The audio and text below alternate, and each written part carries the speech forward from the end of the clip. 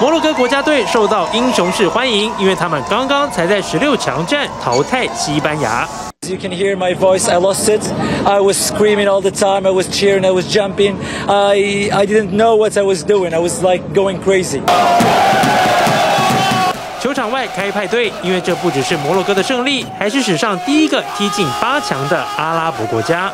والله شهد لان الحمد لله المنتخب المغربي شرفنا وشرف الكره الافريقيه وشرف وشرف وشرف العالم كامل عامه الحمد لله هادشي كنهديه 今年八月才换教练的摩洛哥集成西班牙无敌舰队，关键就是防守，防守再防守。Conceded one goal so far in the tournament. They aren't big names necessarily, but they're a team that works together really, really effectively. 战术很明显，不让西班牙发挥传控踢法，零比零僵局拖到一百二十分钟 PK 大战，再来比运气和抗压。Morocco's Yassine Bouno.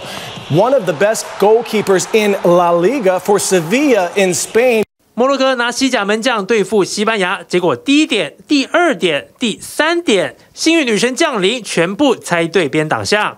反观摩洛哥点球四中三，笑到最后。Han dominado mucho, pero con poca profundidad y luego la verdad que los penaltis, yo no sé por qué se se empeñan en tirarlos flojitos. 西班牙整场进攻消极，踢得超闷，尤其最后 PK，四年前对俄罗斯噩梦重演，球迷难掩失望。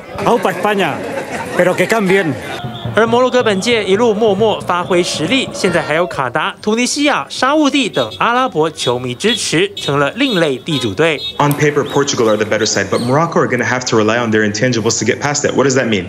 That means Walid Regragui is going to have to have another great game tactically. He's going to have to again set them up in that defensive 4-3-3 where they can spring counterattacks and hit them on set pieces. It also means that they're going to have to rely on that home field advantage again. 八强恐怕是一场硬仗，对手葡萄牙刚以六比一痛宰瑞士，还诞生。 一位超级新星。二十一岁天才小子拉莫斯，国家队生涯第四战就缴出本届世足目前唯一帽子戏法，单场狂进三球。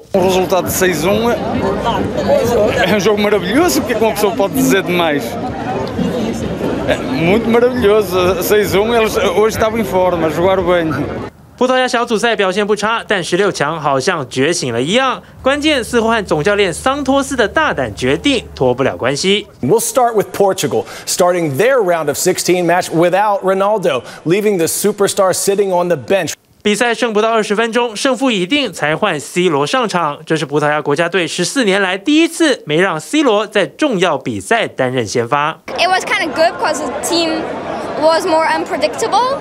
and they could get more goals. But Ronaldo should always come to a match. 连球迷也发现，没有 C 罗的葡萄牙，坚强阵容还是能踢得自由又积极。Dear Cristiano, it's me, your future self, the one you see in your dreams. We have come so far. 这位传奇巨星强归强，但刚闹出曼联离队风波，最新也否认加入沙乌地球队传闻，似乎还是失业状态。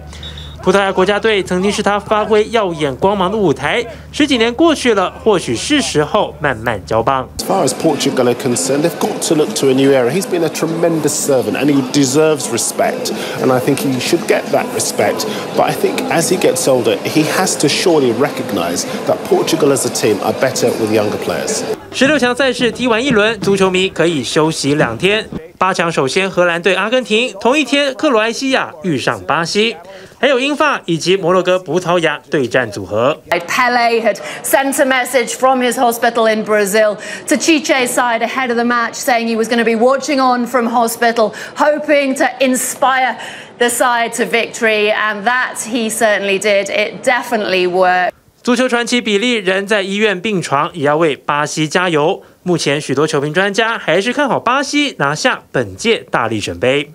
TVBS 新闻综合报道，请支持一个专门报道国际新闻的全新 YouTube 频道 TVBS 国际 Plus，扩大视野，掌握趋势，请订阅并开启通知小铃铛。